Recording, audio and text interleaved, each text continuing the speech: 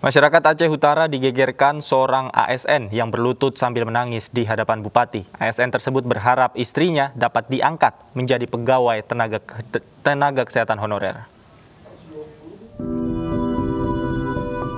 Usai upacara kemerdekaan, seorang pria bernama Abdullah Hadi, usia 35 tahun nekat berlutut di hadapan Bupati Aceh Utara, Muhammad Taib, agar menerima berkas surat permohonan istrinya dari pegawai tenaga sukarela diangkat menjadi tenaga honorer di Puskesmas Tanah Luas. Selama lima tahun sang istri berstatus honorer biasa sehingga tidak mendapatkan penghasilan yang layak. Diharapkan perubahan statusnya akan mendukung kebutuhan ekonomi keluarga. Abdul Hadi, warga Kecamatan Tanah Luas, Kabupaten Aceh Utara, sehari-hari berstatus pegawai honorer sebagai penjaga sekolah di SMA 1 Tanah Luas. Keadaan ekonomi yang sulit membuat Abdul Hadi berani melakukan aksinya.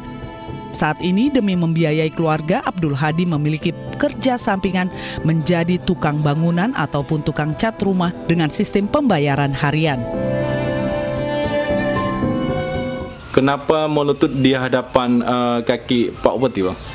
Uh, karena saya tuh merasakan dia tuh sebagai raja di Aceh Utara dan hmm. sebagai ayah orang tua kami. Itu saya memohon kepada orang tua saya itu yang berdua di Aceh Utara, semoga dengan berkat saya kasih itu diproses untuk dapatkan uh, honor kontak untuk istri saya.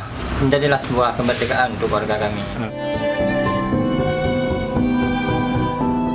Himpitan ekonomi menggelayutinya karena selain kebutuhan pokok, tempat tinggal mereka juga banyak yang harus diperbaiki.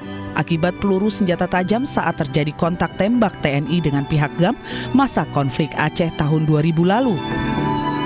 Abdul Hadi melakukan aksi mohon ini tidak dipaksa oleh pihak lain sehingga siap menerima sanksi jika dianggap bersalah. Dari Aceh Utara Muhammad Jafar Yusuf Ainus melaporkan.